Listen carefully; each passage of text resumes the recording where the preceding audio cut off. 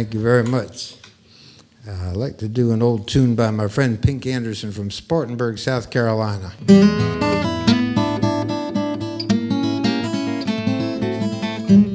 It's a long story how I befriended Pink, but uh, there we were, pals, back in the late 60s.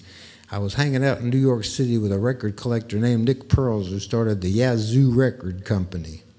And he had all these 78 RPM records, and we used to go over there every other Friday or so and listen to old 78 RPM blues records. There's nothing like listening to the old shellac things or whatever they're made out of.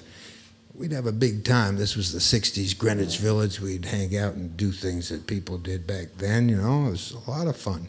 And one day I asked him if he had the two records that Pink Anderson made, and he did. And he broke them out, and we put them on the turntable and cranked that baby up and played them. And I asked him if I could make a tape recording of those songs. He said, do whatever you want. I just got one of those cassette recorders that came out and recorded the four songs, the two records that Pink made. About three weeks later, I was having a little get together at my pad down in the village. And uh, about four o'clock in the morning, I decided it'd be the coolest thing to call up Pink Anderson on the phone.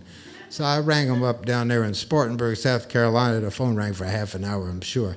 Finally, the old man got to the phone. I says, Pink, is that you? He says, Yeah, who's this? I said, Roy.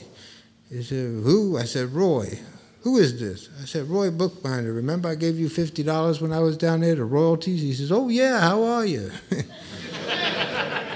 friendship was still pretty cheap in the Carolinas back in 68, 69, you understand? I said, get your ear up on the phone. You got to hear this. There was a pause, and he said, it's up there. So I, I, took my phone and put it down by the cassette recorder. I played him a little bit of the record he made in 1928, got back on the line, said, how'd you like that? He said, that was me and Simmie Dooley. We made those records in 1928. He says, you got the rest of that song? I said, I got all four songs. So I played him the four songs on the phone, and we had a little chit-chat. He was quite thrilled, and I said I'd see him in the spring because I used to stop there on my way to New Orleans Jazz Fest back in those days. Next spring, I was down there hanging out with Pink. It was always fun to hang out at Pink's house. He ran a 24 hours joint you could always wake up Mr. Pink if you needed a drink. That was his motto.